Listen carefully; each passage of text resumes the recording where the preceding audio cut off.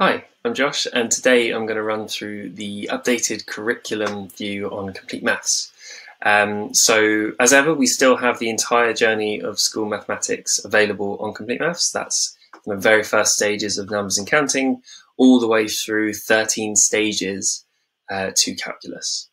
Now, you can navigate this in the 13 stages, which are helpfully broken down into units, which are broken down into their statements, and then down to the granular objective level uh, of maths that are roughly a lesson's worth of content. You can also navigate this curriculum through groups and through topics, um, but here we'll stick with our stages and we'll jump into one of these objectives.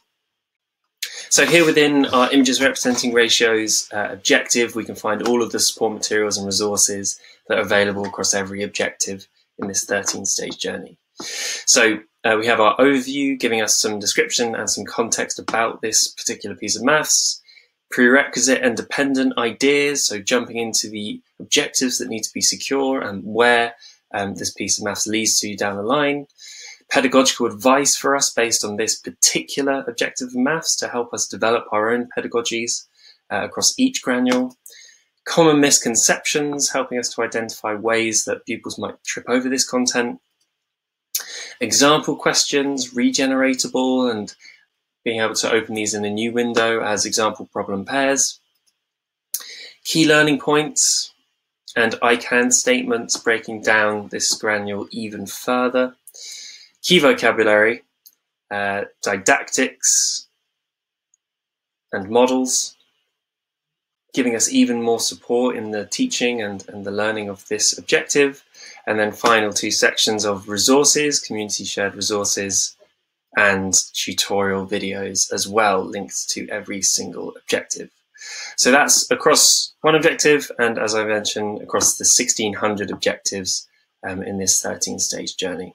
Another key element of this curriculum update is our enhanced curriculum search, uh, which gives us even greater access into uh, this curriculum and every granule within it. So we can just search for key terms and it's picking out every objective across the curriculum, whether it's through the title or content within, uh, and we can jump straight to that objective within our curriculum list um, to show it uh, in context. So here we can see that. Now this curriculum list view is obviously extremely valuable in assigning it to our groups and working our way through their maths learning journeys uh, in a similar way to a scheme of work.